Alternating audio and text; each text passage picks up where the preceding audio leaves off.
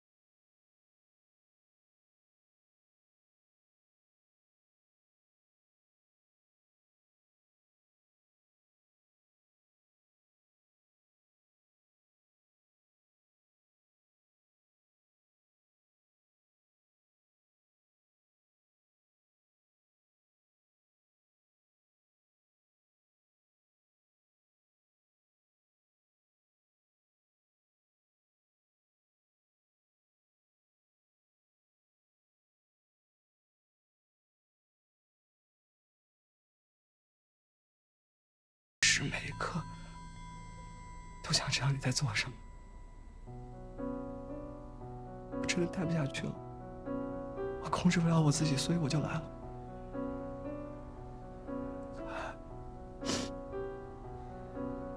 你再给我一次机会，可以吗？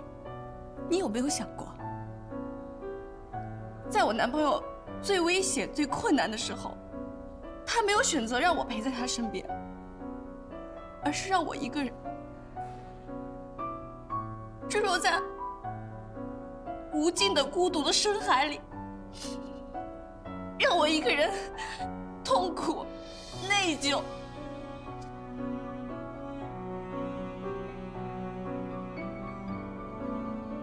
海源斌，你知不知道，有多少次我在想你的时候，我都在想，为什么不是我跟他在那辆车上？为什么我不能跟你在同一辆车上，就这么随你去了？我每次想起你的时候，我都想，袁冰啊，这能不能是一场梦啊？是不是梦醒来了你就会回来啊？但是没有啊，韩元斌。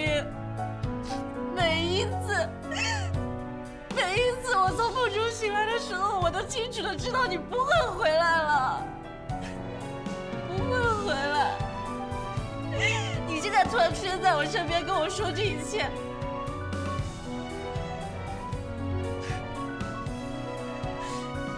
你知不知道？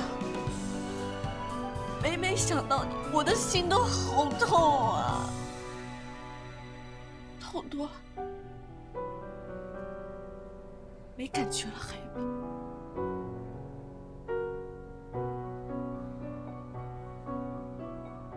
对不起，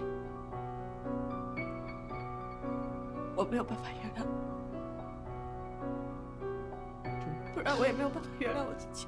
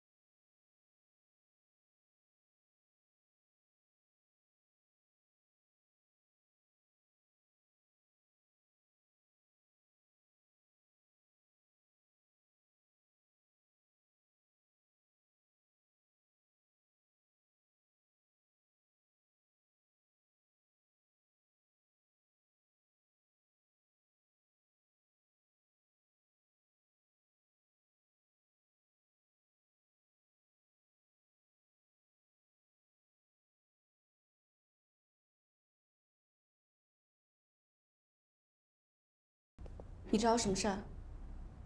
没什么事儿，我就是看你俩挺尴尬的，所以你偷听我们说话？绝对没有偷听，我真的只是路过。算了，无所谓了。哎，马总，马总，那个就是你说突然消失的人。嗯。诈尸啊！不是不是，我不是这个意思，我是想说那个突然消失的人回来了，你不应该开心吗？怎么感觉你们俩在吵架呢？怎么了，夏雨晴？你现在是想要取代杨丽的位置，成为我们酒店的八卦王是吗？对不起，马总，我只是随便问问。可爱，嗨，有事啊？当然了，你答应过我的。哎，这个呢，我带走两天。嗯，我什么时候答应你了？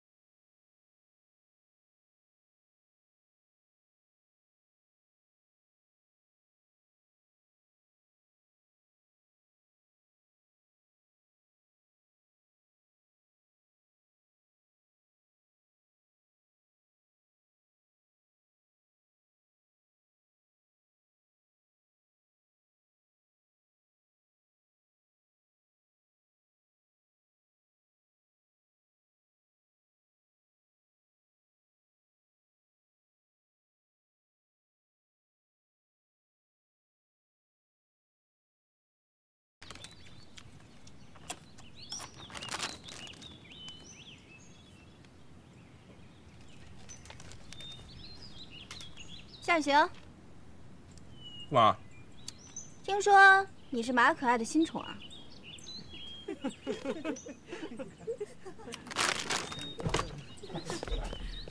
什么新宠这么难听？不是啊，你难道对他一点意思都没有？不过呢，就算他现在对你有点意思，那也没用，迟早呢，你都是被抛弃的。为什么呀？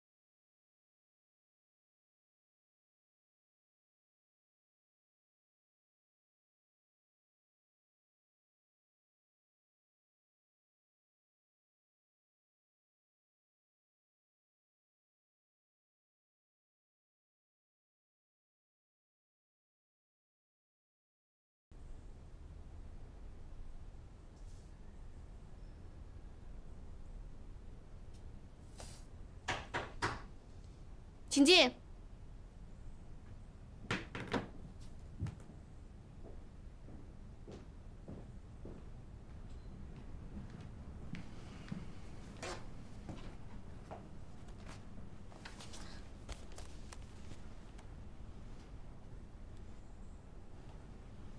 什么意思？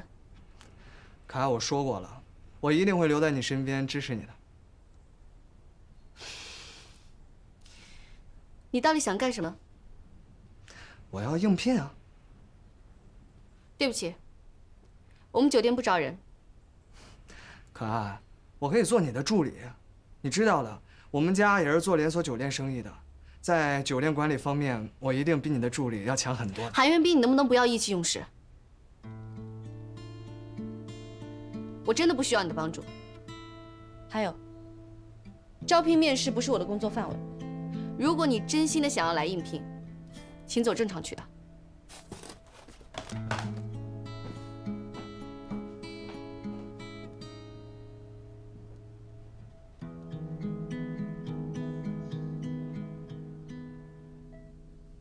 爸，韩元斌要来酒店上班了，我真的不知道该怎么面对他。对于这样一个失而复得的人，我是很开心他没事儿，可是，可是我花了很长的时间才接受他走的事实，现在他突然出现说要跟我重归于好，我真的觉得这件事情有点太蹊跷了。背后肯定有什么秘密，爸，我到底应该怎么做呢？为什么老天爷总是这么喜欢跟我开玩笑？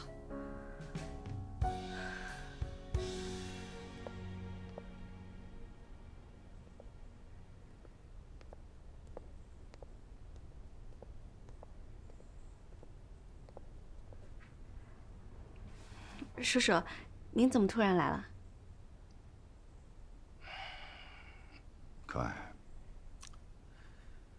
为了你爸爸的愿望，为了我们的交情，我把酒店交给你。嗯，相信你可以做好一切。你也承诺了，嗯，要让这儿有所起色。嗯，可是最近呢，酒店为什么发生了这么多的事儿？竟然还上了新闻。啊，还闹出闹鬼的事儿，你不知道这样会影响酒店声誉吗？我知道，叔叔，这件事情我已经在想办法尽快解决了。你想什么办法解决？啊，这明明是一件以前发生的事，现在又被人翻出旧账，这样对酒店很不利。嗯，我明白，叔叔，我们现在呢已经请到陆真真那个大明星为我们做代言，我相信。以他的高人气来说，会给我们酒店带来一定的帮助，而且银行那边的续贷通知也已经下来了，他们很快就会来酒店继续复查的。可我听说哈，你竟然请了精神科的医生，用催眠的方法来解决，这也太开玩笑了吧？啊？这件事情很简单嘛，你把证据放在李志伟的面前，事情不就解决了？叔叔是这样的。李志伟呢？他毕竟是一名律师，我们是考虑到他的精神状况，而且万一他反咬一口，说是我们酒店侵犯他的隐私，不会，绝不。他也是有声望的人，他也会怕自己的丑闻曝光的。嗯，但是确实是有人建议我，呃，包括医生也是这么说的，希望我们能够考虑到李志伟的精神状况，毕竟。毕竟我们还是应该以人为本嘛，以利益为本。酒店的利益高于一切。嗯，这个我也知道。可爱，这件事情啊，绝不能再拖下去，必须在今天之内解决。闹鬼的事儿也绝不能再发酵，不然我就亲自去找李哲。嗯，我明白了，叔叔。鬼啊！鬼啊！鬼啊！鬼啊！鬼鬼鬼！你们笑死我了！你们这群胆小鬼！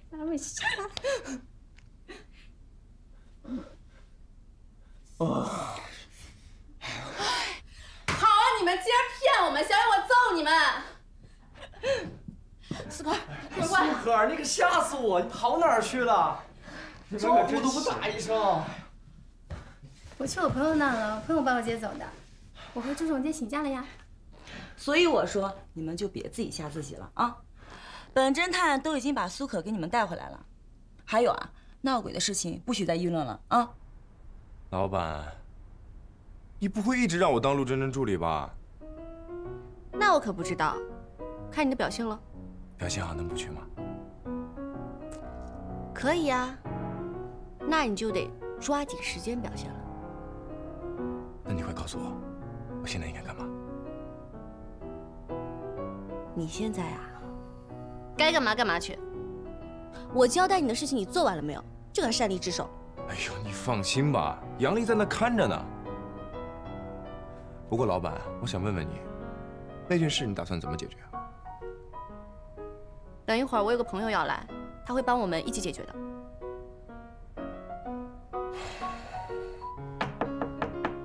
请进。赵医生您好，马总好，请坐。你好。赵医生是精神权威科的专家，也是我的朋友。我现在觉得李律师有精神方面的疾病，但是以他的身份，应该是不肯承认，也不会配合我们治疗的。怎么又是个病人？看来，像我这么乐观正常的人。往往病人啊，都认为自己很正常。嗯？哎，我可没病啊！你说你们这些医生，是不是看谁谁有病？啊夏雨行，赵医生是我请来的贵客，注意你的态度。我不好意思，赵医生，刚才方有得罪。没什么。好了，你先出去吧，我要和赵医生单独聊聊。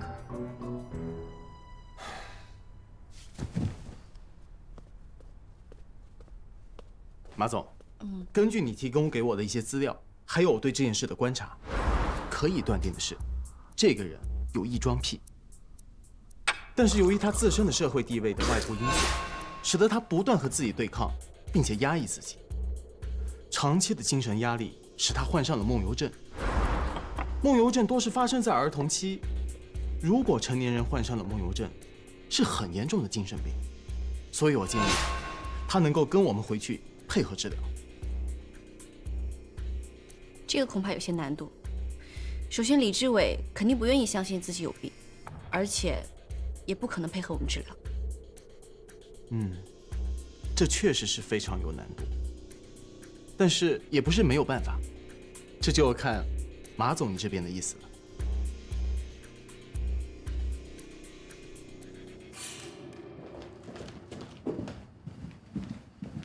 马总，您找我们？嗯，马总，赵医生昨天给了我们一个建议，叫做暗示性催眠。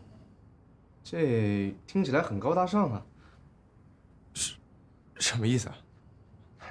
就是在催眠的过程当中，通过语言、表情、手势，或者说某种表情或者符号，向被催眠者传递引导、指使或者提示，从而影响他的行为和心理。啊，我听不懂。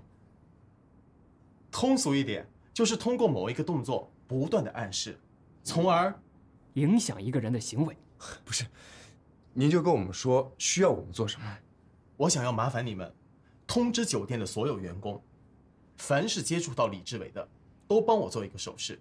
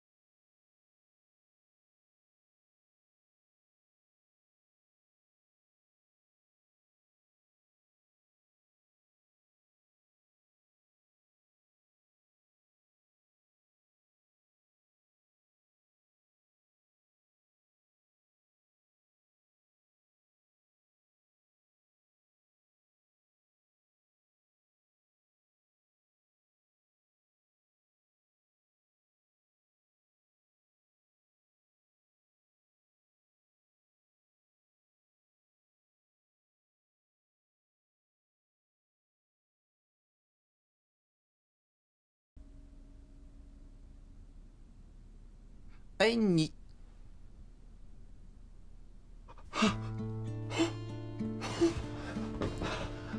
李先生，我怎么了？所以你应该明白，这个房间根本没有鬼。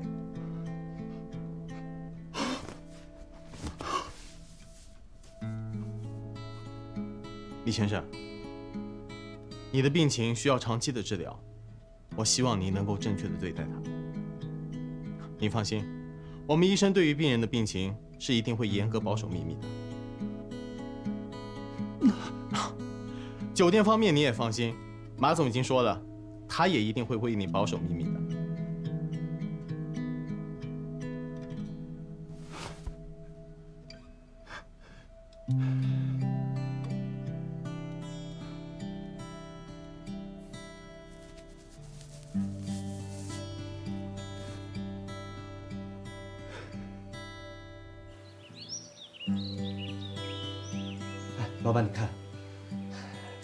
这吕律师曾经酒店闹鬼的新闻稿还没发，这陆小姐代言 JR 的消息就已经铺天盖地了，而且特别会说话，说什么闹鬼的酒店我会代言吗？谣言止于智者。现在是文明社会，这种怪力乱神的事啊，只有愚蠢的人才会相信。这个陆真真，马总，那个夏雨晴，你又不敲门，抱歉，那个李律师的事情处理差不多了，并且同意接受治疗。太好了，这事总算是解决了。那个马总，不要紧的好不好？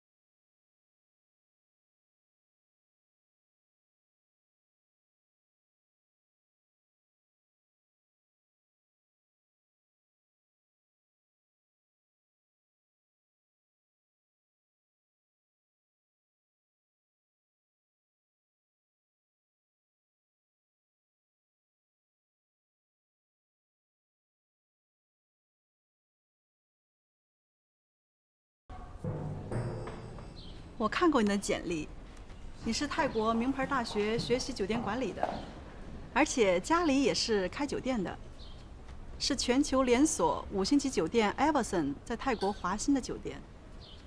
照理说是非常符合要求的，只是我们酒店总裁助理这个职位现在没有空缺。没关系的，唐总，这任何职位都可以，只要你让我留在 JR 就行了。这样啊？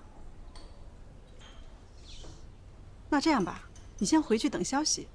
我们如果有意向的话，我给你打电话。那就麻烦唐总了。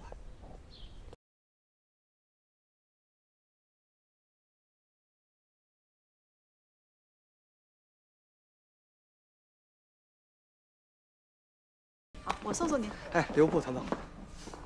好的，再见。再见。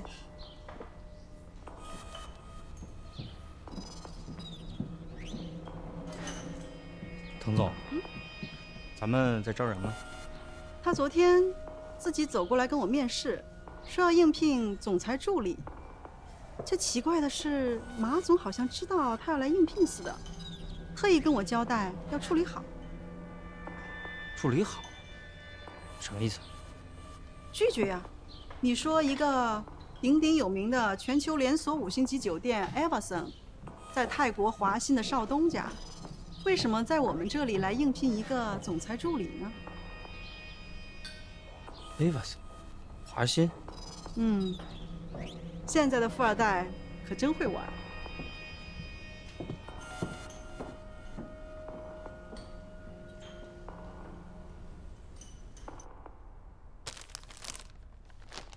韩叔叔，您怎么突然间这么关心 JR 啊？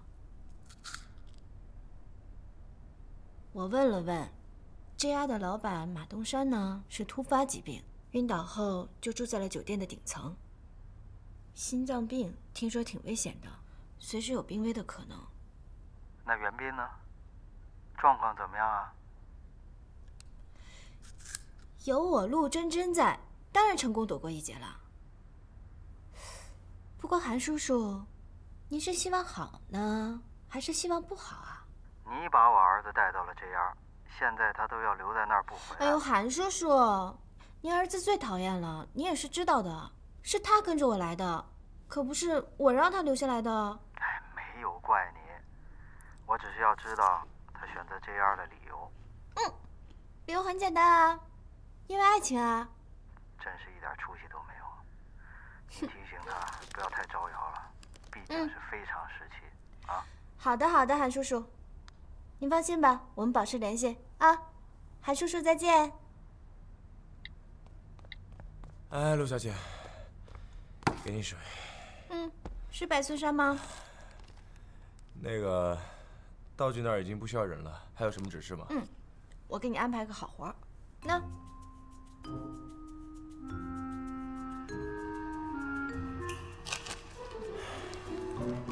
爸，你就不要怪陆真真了。这次是我让他把我带回中国的，我没有怪他，真真我太了解了，他对你不会有坏心。我后来想了一下，你回中国去磨练一下也未尝不是一件好事。但是，我希望你明白自己的身份和自己要做的事儿。啊，我听说那家酒店的状况并不好，你跟我说实话。为什么一定要留在那儿啊？啊，爸，我觉得这酒店状况越不好，越能锻炼我的能力。是吗？我听说你面试了个什么职位？是。本来他们觉得我只是闲着玩玩，没有打算录用我的。可是后来市场销售部的赵总忽然给我打电话，他说希望我去市场部帮他。然后现在公关部。总监的职位空缺，如果我做得好的话，他可以直接让我去管理这个部门。赵总，什么来头？这具体的我也不清楚，听说他是酒店老员工了。他根本就不了解你，就越过 HR 找你，还许给你这样好的前途，这不正常。所以儿子，你要多加小心，知道吗？放心吧，爸，我会小心的。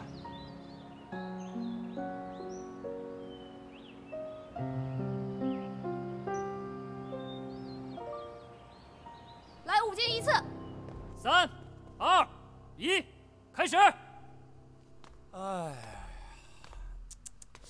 呃，你就是你，就是他，敢抢我们大哥的女人，就是你。我我我啊！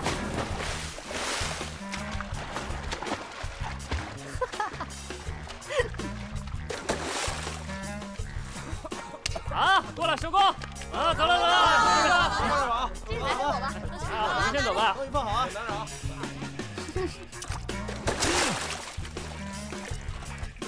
加油！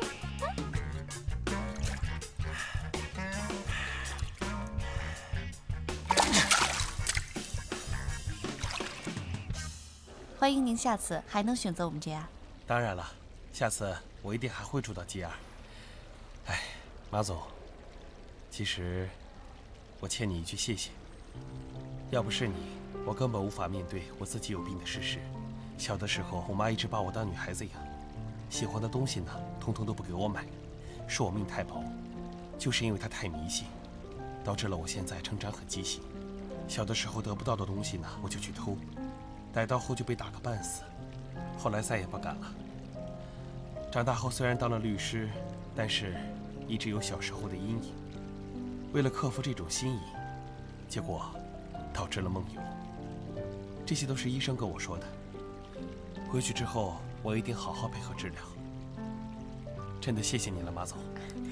没什么，这些都是我们应该做的。这次给杰儿添了这么多的麻烦，实在不好意思。等下次不赶时间了，一定请你吃饭。好，那我们就一言为定，我就在 JR 等着您。好，一言为定。是算了吧。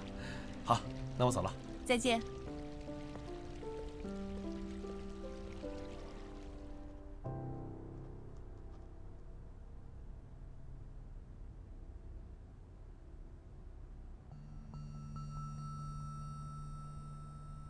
马总，赵总说他缺助理，所以我想马总是不会有意见的。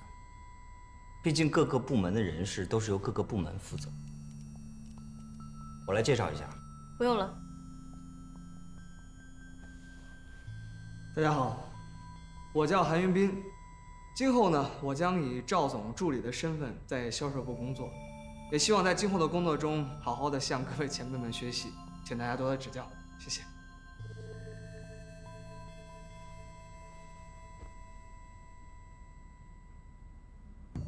赵总，您的助理需要参与我们高层的会议吗？马总是这样的，韩云斌是 Eva 送华欣酒店的少东家，说是我的助理，其实是为了了解酒店的过渡。我是希望他日后可以接管公关部，而且韩云斌的经验至少比这位夏助理要强吧。他参加会议没什么不好。谁比谁的经验强？我看还不见得吧。好，既然赵总您都这么说了，那我就拭目以待了。马总，我是绝对不会让你失望的。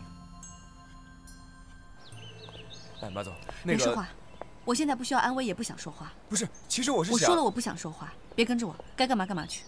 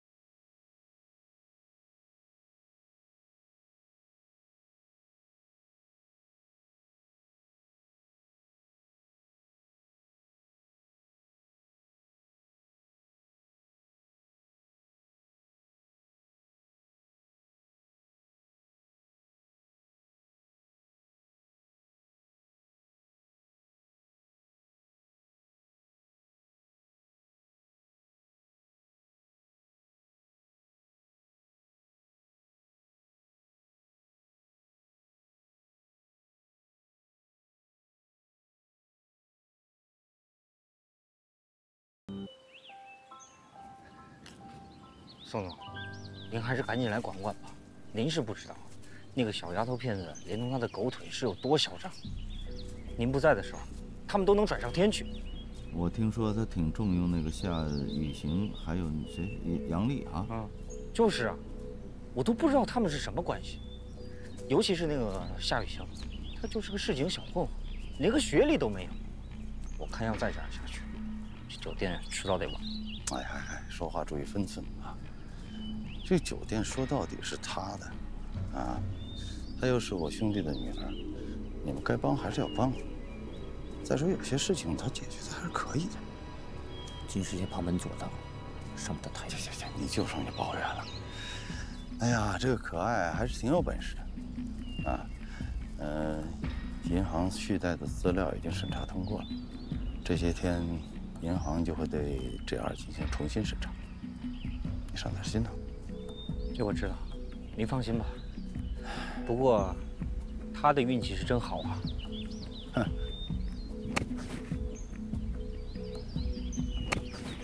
我听说你录用了一叫韩云斌的人啊？是，什么人啊？